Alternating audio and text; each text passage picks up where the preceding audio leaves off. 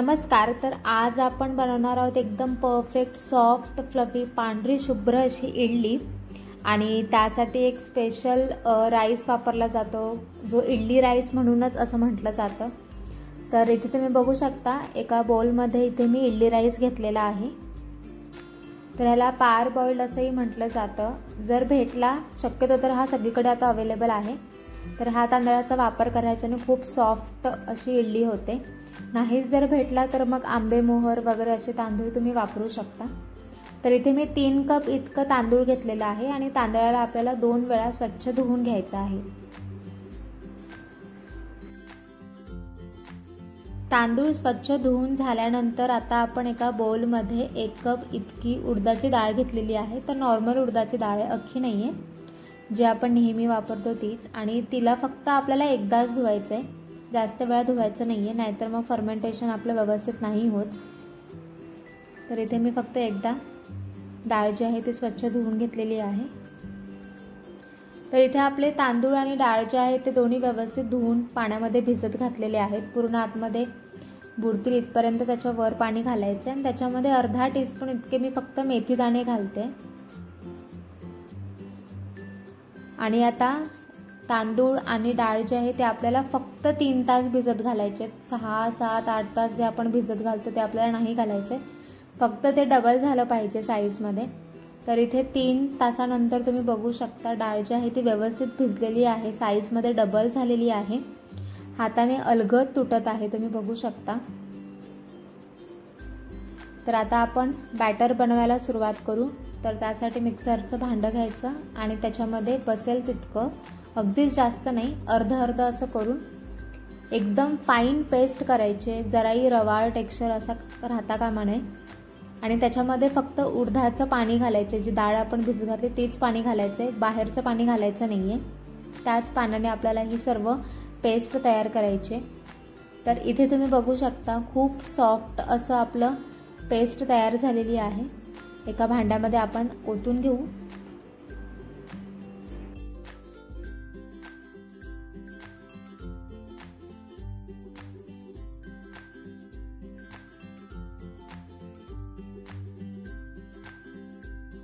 तर इथे उडदाची डाळ जी आहे ती वाटून झाले आणि आता आपण तांदूळ मिक्सरला लावून घेऊया.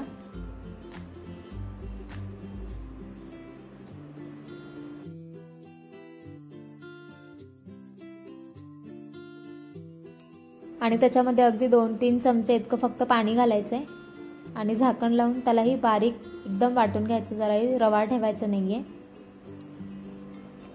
तर इथे तुम्ही बघू शकता आपले तांदूळ जे आहेत तेही अगदी फ्लोई कन्सिस्टन्सीपर्यंत असे चांगले वाटून झालेले आहेत.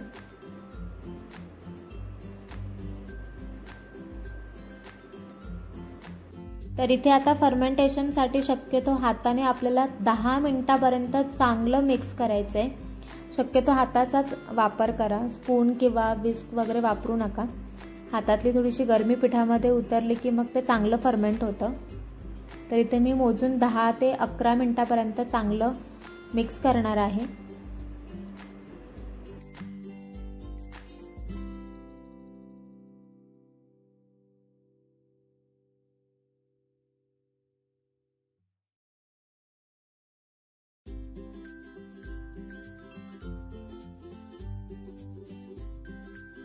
तर इथे मी आता पाणी घालते. तर मिक्सरच्या भांड्यामध्ये मोजून एक कप म्हणजे अडीचशे एम एल इतकं पाणी मी घेतले आणि मिक्सरचं भांडं जे आहे थोडंसं हलवून त्याच्यात टाकते. तर पाणी मी आत्ताच टाकते. मग ते फर्मेंट झालं की मग ते थोडंसं घट्ट होईल. आणि मग आपल्याला इडलीसाठी पुन्हा पाणी ॲड करायची गरज लागणार नाही. जी कन्सिस्टन्सी आहे ती परफेक्ट राहील. तर एक कप पाणी बस होतं इतक्या मिश्रणासाठी. आणि पुन्हा एक चांगलं त्याला मिक्स करायचं आहे तर इथे आपलं बॅटर जे आहे ते रेडी झाले ओव्हरनाईट आता आपण ठेवून देऊया. तर दुसऱ्या दिवशी सकाळी बघूया की आपलं बॅटर किती फर्मेंट झाले तुम्ही बघू शकता बॅटर फुललेलं आहे भरपूर फुललं आहे थोडेसे बबल्स वरती दिसत आहेत तर आपण असं अलगत मिक्स करू.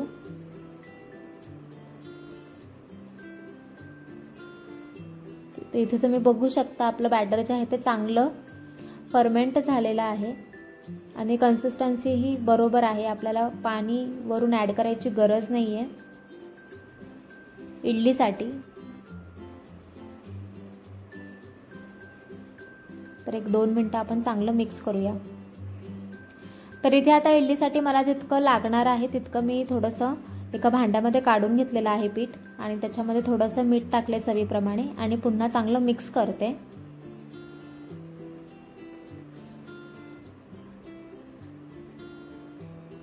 तर कन्सिस्टन्सी बघू शकता. फ्लोई कन्सिस्टन्सी आहे. आणि इथे आता प्लेट्स जे आहेत ते इडलीच्या त्यांना मी ऑलरेडी ग्रीस केलेलं आहे तेल लावून. तेल किंवा बटर तुम्ही काहीही लावू शकता. आणि आता आपण इडलीचं बॅटर जे आहे ते व्यवस्थित त्याच्यामध्ये ओतून घेऊ.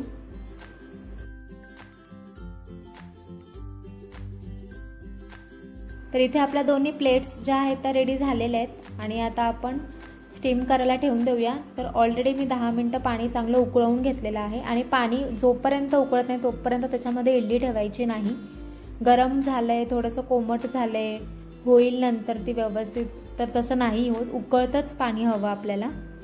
आणि आता मीडियम फ्लेमला मोजून दहा ते अकरा मिनटासाठी आपल्याला फक्त इडली जी आहे ती स्टीम करायची आहे. त्याच्यापेक्षा जास्त स्टीम करायची नाही आहे दहा अकरा मिनटामध्ये आपली इडली जी आहे ती स्टीम होतेच.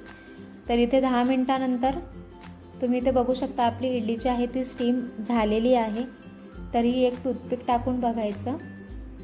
तर क्लीन निघाले इडली आपली रेडी झाले.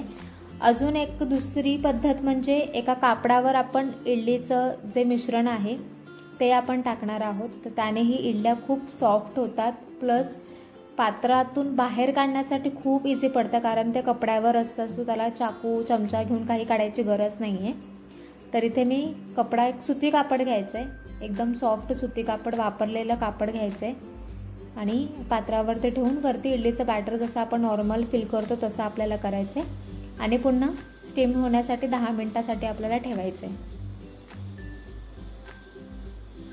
आणि कापड जे आपण प्लेटमध्ये ठेवणार आहोत ते ओलं कापड घ्यायचे म्हणजे थोडंसं पिळलेलं कापड घ्यायचं आणि त्याच्यावर बॅटर टाकायचे